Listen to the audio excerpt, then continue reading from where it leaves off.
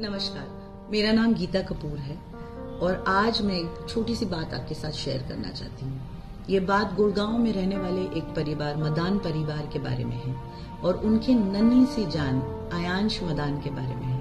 आयांश मदान सत्रह महीने के हैं और इस उम्र में वो ना उठ सकते हैं, ना बैठ सकते हैं, ना खा सकते हैं, यानी कि वो कोई भी ऐसी हरकत नहीं कर सकते हैं जो आम बच्चे करते हैं।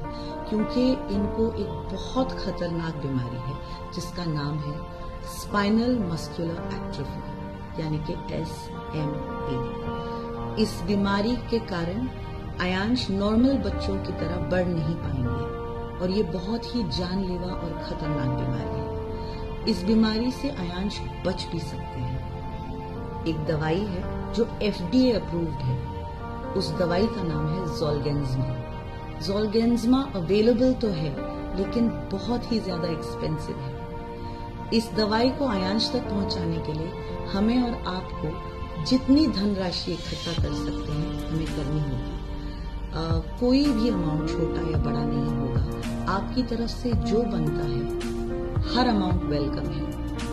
अगर आप और हम आयांश को बचा पाए तो ये बहुत बड़ी बात होगी, क्योंकि ये दवाई जल्द से जल्द उन तक पहुंचाना बहुत ज़रूरी है। सिंस आयांश सिर्फ़ सत्रह महीने के हैं, ये दवाई दो साल की उम्र के बच्चों को ही मिल सकती है। दो साल के ऊपर के बच्चों को ये दवाई काम नहीं करती। तो हमारा और आपका काम ये है कि हम जल्द से जल्द जितनी धनराशि इकट्ठा कर सकते हैं, इस बच्चे के लिए करें, क्योंकि जोलगेंजमा को लाने के लिए मिनिमम 16 करोड़ की ज़रूरत है।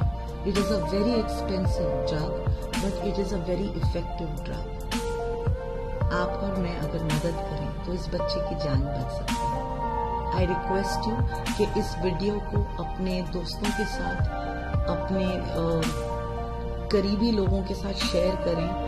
WhatsApp, FB, Instagram Twitter you are welcome to share this with all your friends लेकिन please make sure that you donate something and save a child's life मेरी तरफ़ से मैंने अपना काम कर दिया है। I look forward to you doing the same save Ayansh thank you